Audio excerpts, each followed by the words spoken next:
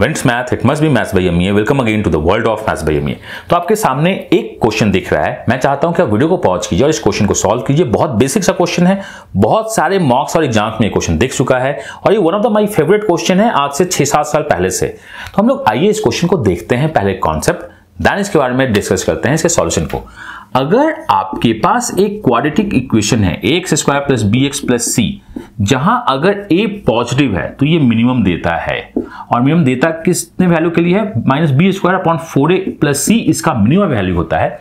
आप डिफ्रेंसिएशन से भी सॉल्व कर सकते हो परफेक्ट स्क्वायर बना के भी सॉल्व कर सकते हो, और एक्स का वैल्यू क्या है? Minus b by two a पे मैक्सिमम मिनिमा देता है ये।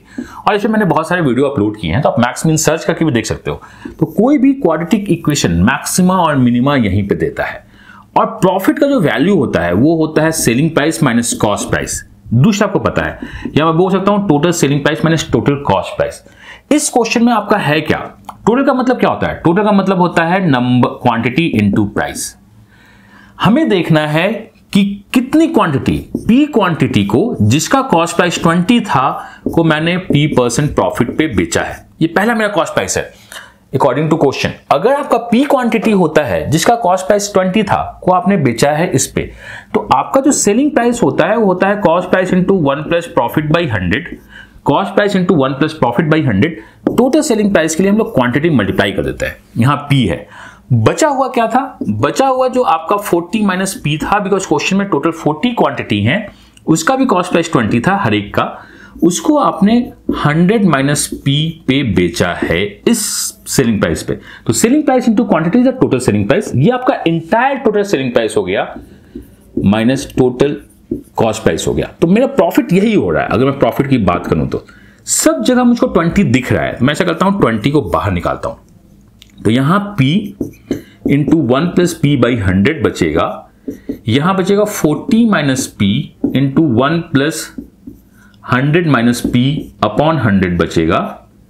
ये ठीक है? या मैं हंड्रेड अगर इसको दे दूँ तो यहाँ ये जो बचेगा, ये हो जाएगा आपका two hundred upon hundred and आपने ट्वेंटी बाहर निकाल लिया है तो माइनस फोर्टी अब ब्रैकेट ओपन करते हैं। ये दिखेगा P यहाँ दिखेगा पी स्क्वायर अपॉन हंड्रेड यहाँ forty and two hundred is nothing but eight thousand forty minus p minus forty p minus p this minus two hundred p and plus p square divide by 100 minus forty यही बचेगा।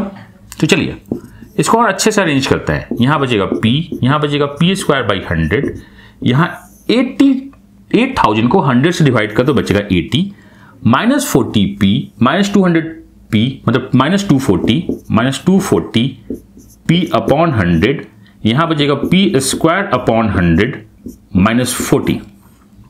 अब फिर से arrange करते हैं। P square by hundred and p square by hundred, जो आपका दिखेगा, वो दिख जाएगा two p square by hundred. यहाँ पे आपका माइनस टू फोर्टी पी है और यहाँ पे पी है। अगर आप इसके साथ काम कीजिएगा तो दिखेगा minus one forty p and sorry one forty upon hundred p plus this plus forty यही मेरा हिसाब किताब आ रहा है। यहाँ पे 20 होगा इसके थ्रू अब मैं अगर इस ब्रैकेट को ओपन करूँ तो चलिए इसको ओपन करते हैं। यहाँ हो जाएगा 40 डिवाइड बाई हंड्रेड ये दिखेगा 40 divide by hundred p square minus zero से ज़ीरो इस ज़ीरो से ये ज़ीरो कटेगा minus twenty eight p and plus eight hundred is my profit entire इस प्रॉफिट को मिनिमा करना है। तो प्रॉफिट मिनिमा कैसे होता है? Minus b square upon four a minus b square upon four a minus twenty eight whole square upon four a four a that was four into forty upon hundred plus c plus c eight hundred तो यहाँ से यहाँ zero cancel out होगा। ऊपर बचेगा 28 into twenty eight divide by sixteen into ten with negative sign plus eight hundred यहाँ seven जा, यहाँ सेवन जा तो minus four ninety plus eight hundred is three hundred ten is the answer of this question तो बहुत ज़्यादा conceptual है board entire भर गया बिकॉज़ मैं एक एक प्रोसेस को सॉल्व कर रहा था अदरवाइज़ मैं स्किप करके आंसर निकाल सकता हूँ। तो कभी भी प्रॉफिट मैक्सिमा या मिनिमा पूछता है तो कहीं ना कहीं क्वाड्रेटिक इक्वेशन का हिसाब किताब होता है।